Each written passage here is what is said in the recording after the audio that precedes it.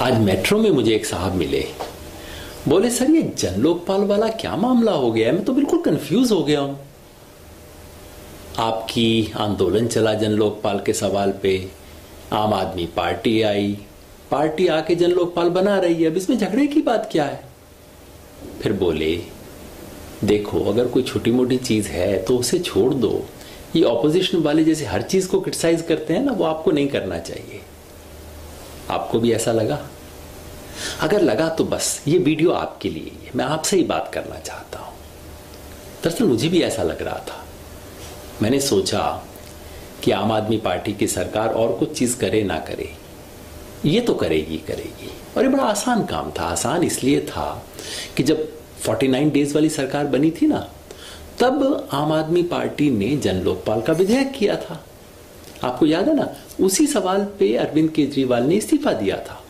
उन्होंने कहा था कि ये जो बिल है, जन लोकपाल का बिल जो हम लाए हैं, ये इतना पवित्र है कि मैं एक बार नहीं, सौ बार अपनी कुर्सी छोड़ने को तैयार हूँ। याद है ना आपको? तो मैं सोचा कि अब नई सरकार आई है, उसी बिल को उठाएगी, उसे पास करवा देगी कोई मुश्किल काम नहीं है। जब थोड़ा देर होने लगी, थोड़ा सा खटका लगा, पता नहीं, फिर खुफिया तरीके से सरकार ने बात करनी शुरू की, बताएँगे नहीं, किसी से चर्चा नहीं करेंगे, लाएँगे। तो मैंने सोचना शुरू किया, भाई, क्या बात, दाल में कुछ काला है क्या? जब सारा ये मसवदा बिल सामने आया, तब तो हम एकदम हैरान हो गए। मैंने प्रशांत जी को दिखाया, फिर प्रशांत जी ने टेबल बना दी। उन्होंने, ये देखो, इसके अंदर उन्होंने क्या किया कि सब हमारा रामलीला मैदान में हमने जो बनाया था कि जन लोकपाल कैसा होगा, वो दिखा दिया। फिर उसके बाद सेंट्रल गवर्नमेंट कांग्रेस सरकार ने जो बनाया था, जिसे हमने रिजेक्ट कर दिया था, वो दिखा दिया। फिर बताया कि 2014 में जो उनचास दिन की सरकार थी, उसने क्या बनाया था, वो बता दिया। और फिर 2015 में इस साल जो आया है प्रस्ताव, वो सारे की तुलना कर दी। एक दो नहीं, आप देखो कितने पेज बर पेज उन्होंने पूरी तुलना करके बता दी। इसको पढ़ा तो हमें मामला समझ आया। कि ये तो सारी की सारी बात पलट दी है। बस नाम जन लोकपाल है। अंदर हर बात पलट दी है। रामलीला मैदान में जो हम वायदे करते थे, कहते थे लोकपाल ऐसा होगा ऐसा होगा, कोई बात नहीं है उनमें से।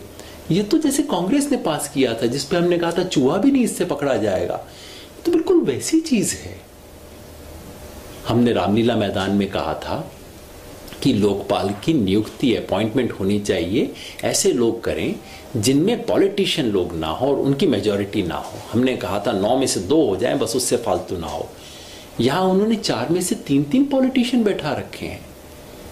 हमने रामलीला मैदान में कहा था कि भाई, हटाने के लिए जज कहे तो करे।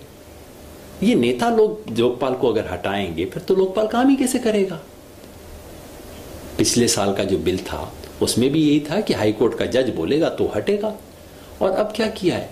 असेंबली के जो विधायक हैं, उनके हाथ में ताकत दे दी है तो कल को सोमनाथ भारतीय और जितेंद्र तोमर मिलकर हटवा देंगे इसको। ये ताकत दे दी है। तीसरी चीज़ हमने कही थी कि भाई जो लोकपाल हो, उसके हाथ में अपनी खुद की जाँच करने के अधिकार होनी चाहिए, मंत्री सरकार से ना पूछें। ये बात पिछले साल थी, इस साल ये भी हटा दी है। लोकपाल का किसके ऊपर कंट्रोल हो? हमने कहा था कि केंद्र का लोकपाल सारे केंद्र के कर्मचारियों पर रखे, राज्य का लोकपाल राज्य के कर्मचारियों पर रखे। पिछली बार ये लिखी गई थी कि दिल्ली राज्य के जितने भी कर्मचारी होंगे एमएलए भी और डीडीए के भी, पुलिस के भी, इन सब के ऊपर लोकपाल का नियंत्रण होना चाहिए। बहुत बढ़िया बात। इस बार पता पलट के क्या लिख दिया है? अब लिखा है, दिल्ली शहर के अंदर जो जो लोग होंगे दिल्ली शहर के अंदर जो जो क्राइम होगा, वो लोकपाल कवर करेगा। यानी कि अगर दिल्ली सरकार का कोई कर्मचारी गुड़गांव में जाके रिश्वत लेता है, वो कवर नहीं होगा। और ये तो ऐसा लगा दिया है कि इसमें और केंद्र के लोकपाल में तो काम हर वक्त झगड़ा चलता रहेगा ये तो बिल बन ही नहीं पाएगा तब हमें समझ आया कि ये मामला क्या है। हमारी अपनी तरफ़ से कोई आलोचना नहीं है। उन सज्जन को मैंने बताया जो मुझे मेट्रो में मिले कि भाई साहब, हम कुछ नहीं चाहते। हम नहीं कह रहे कि हमारी बात मान लो।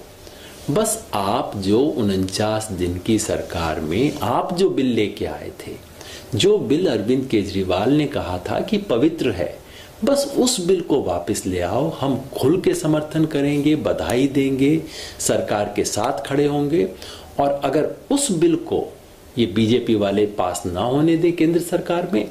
हम अरविंद केजरीवाल के साथ खड़े होंगे, हम केंद्र का विरोध करेंगे, केंद्र के साथ लड़ाई करेंगे। ये जन लोकपाल हमारे लिए आस्था का सवाल है। देश को पता लगे कि आंदोलन कुछ हासिल कर सकता है।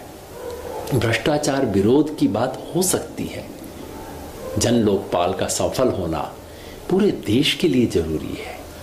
ये आपस में झगड़े का मामला नहीं हो सकता। हम सबको देश को दिखाना है कि ये सपना, कम से कम ये एक सपना पूरा हो सकता है। हम सब मिले। अरविंद भाई से भी आग्रह करता हूँ। अन्ना आंदोलन के तमाम सिपाहियों से अनुरोध करता हूँ, सब मिल जाएँ। एक ये सपना साकार करके दिखाएँ, वो सच्चा जन लोकपाल जिसकी हमने रामलीला मैदान में कल्पना की थी। वो लोकपाल, जिसे पिछले साल एक कानून की शक्ल दी थी, वो सच्चाई बनेगी। हम सबकी जीत होगी।